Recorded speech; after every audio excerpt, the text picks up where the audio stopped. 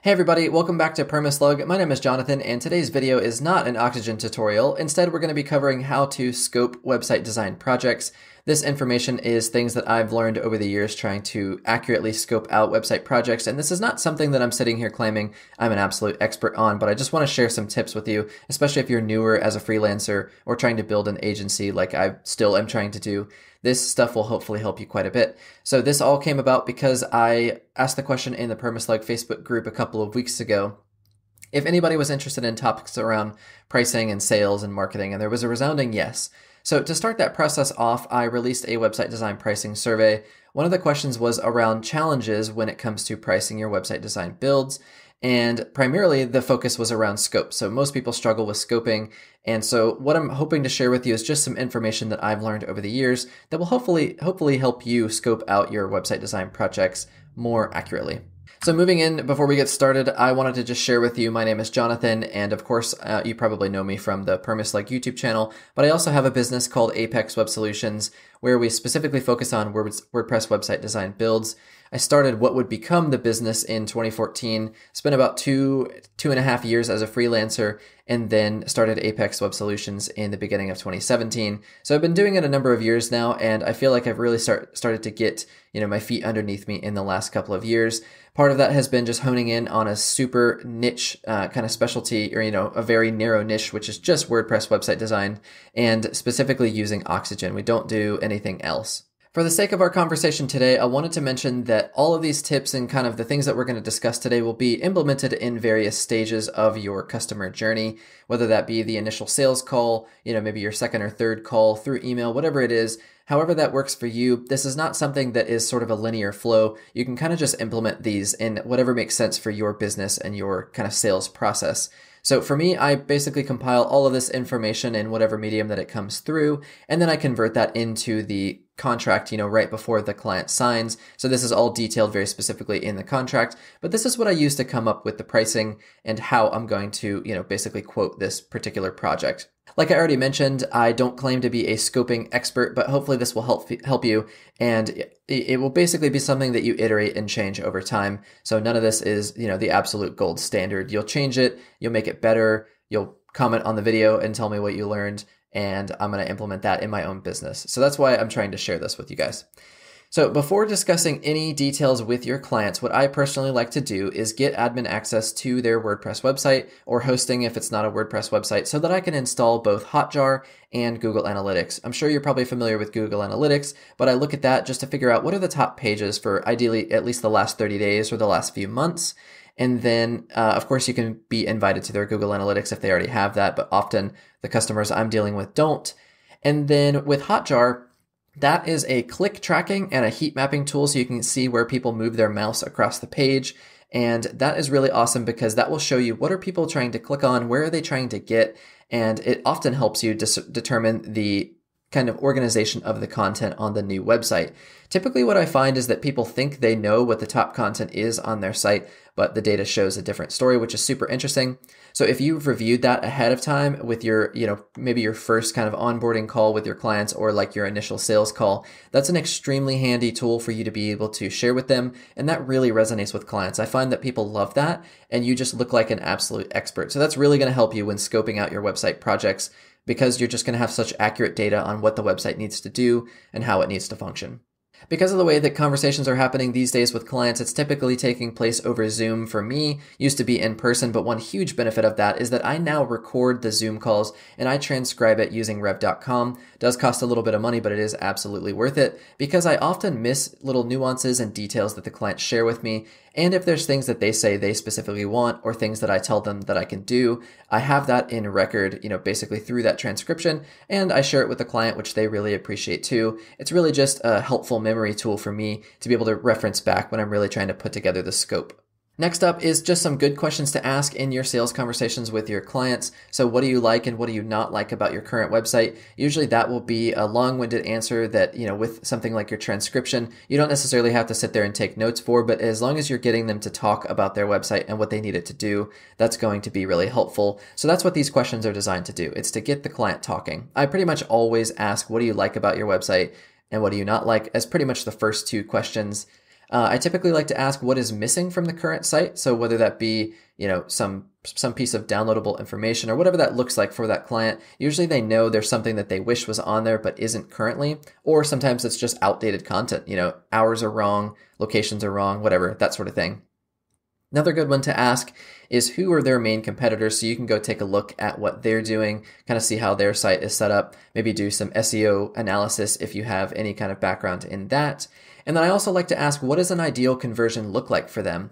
Is there are, are they the type of business that needs somebody to get on the phone with them so that they can convert? Do they need them to fill out a form?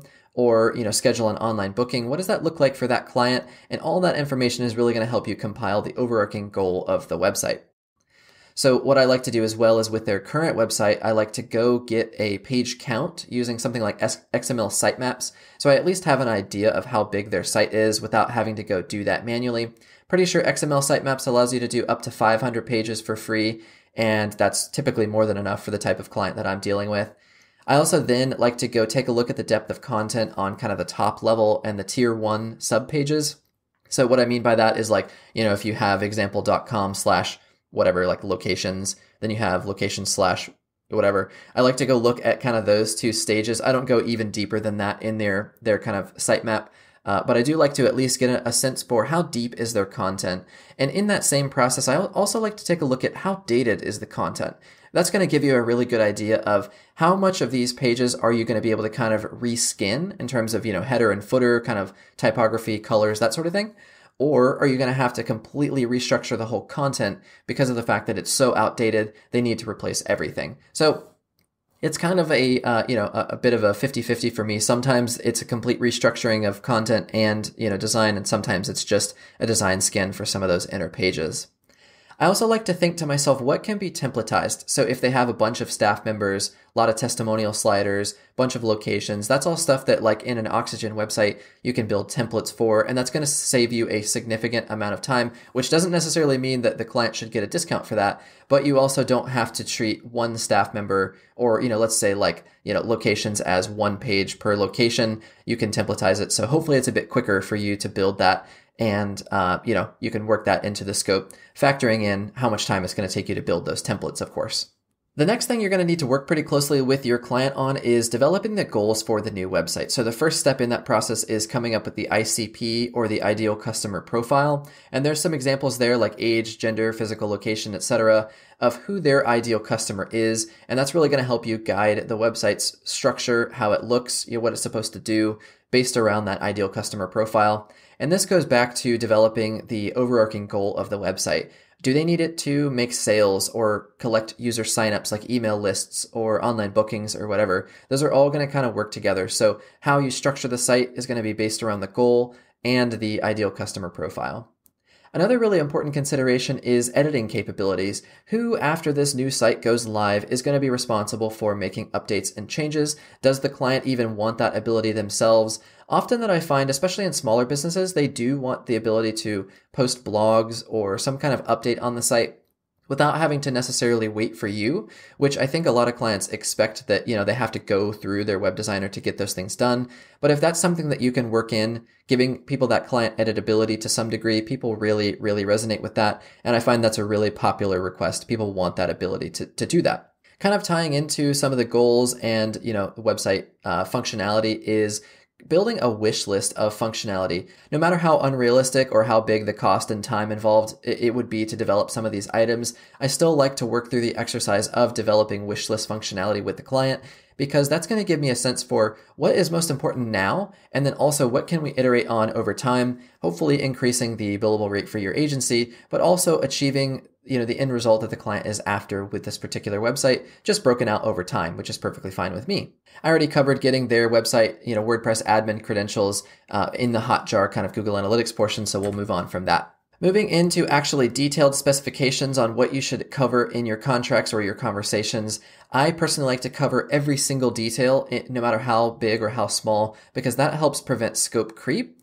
And what I find is that when something that the client requests or something falls outside of the scope that you already agreed on, if you go to them and say, you know, you asked for this or I need to do this, but it's going to cost X in addition to, you know, our current, um, our current agreed upon price, then often clients are willing to say yes, which is really fantastic. So I think people have a fear to do that. But what I found is after I started covering everything in the scope document in detail, I was able to then confidently go back to the client and they were on the same page as me. There was no issues at all with them paying for that work. Typically clients are okay with that. They want you to just go ahead and do it.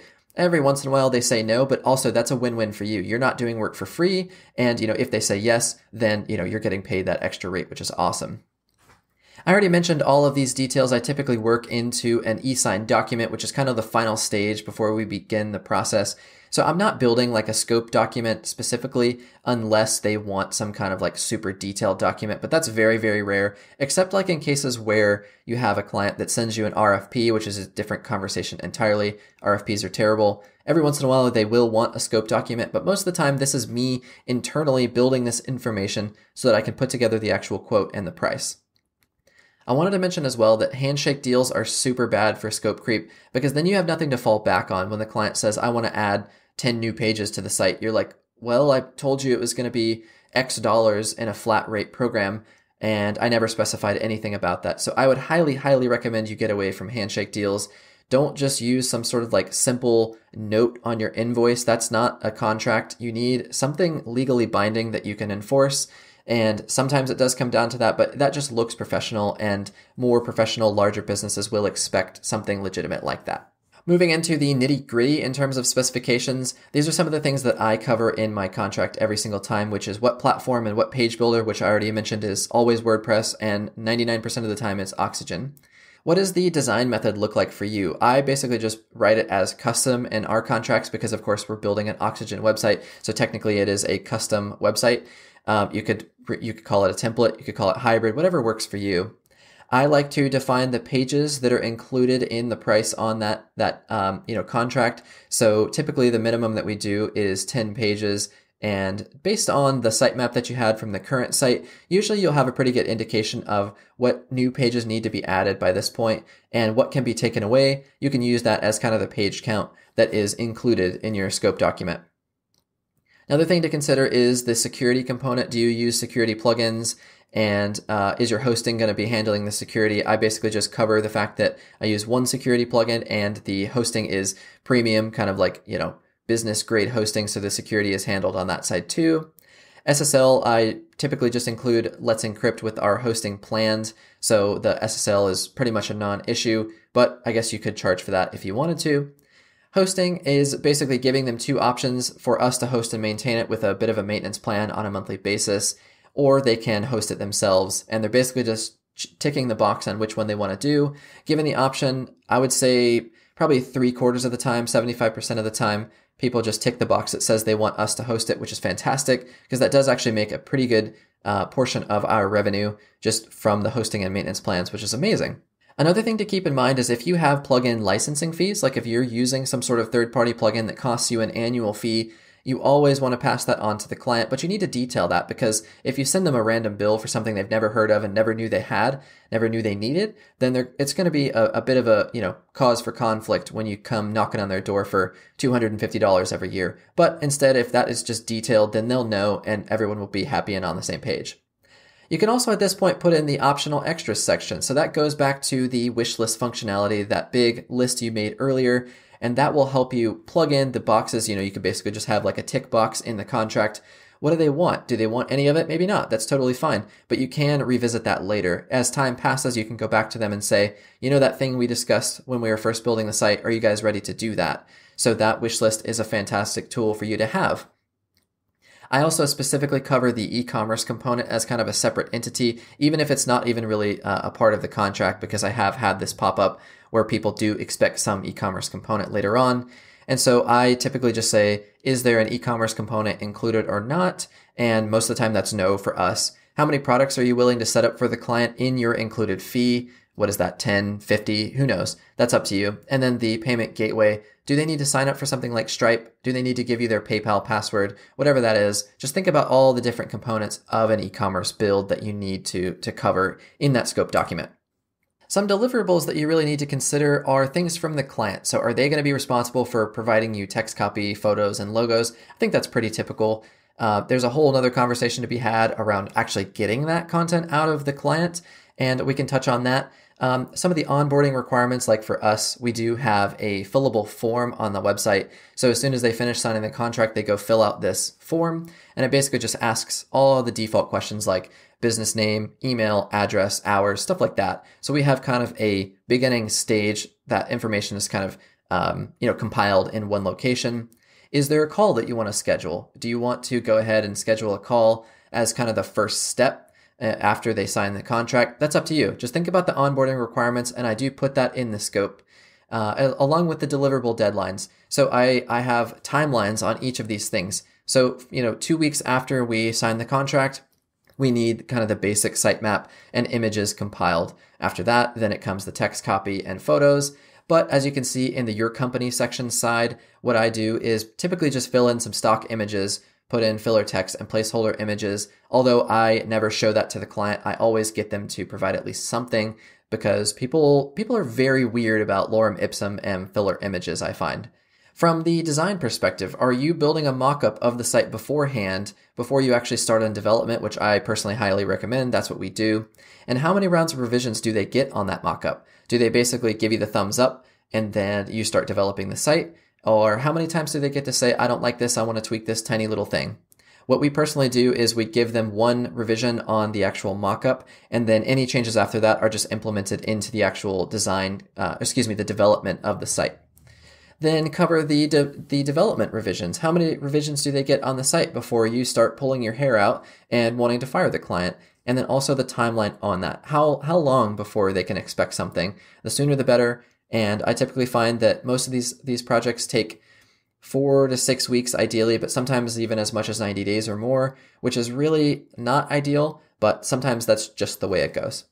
So some closing thoughts is, like I already mentioned, this is going to be iterative. You're going to change this stuff over time. Every site is different, every client is different, but if you're working in that small to medium business space, I feel like a lot of this stuff is really going to help and you're going to be able to implement this in whatever process, you know, like I already mentioned, your onboarding journey looks like. And then hopefully this will make a more accurate scope for you. You'll be able to get the projects done on time. You'll be billing properly for it. And hopefully it just makes your, you know, website design journey a bit more simple. If you guys have any questions, thoughts, comments, please do post them in the YouTube comments below. Next up, I want to cover pricing, then possibly customer onboarding.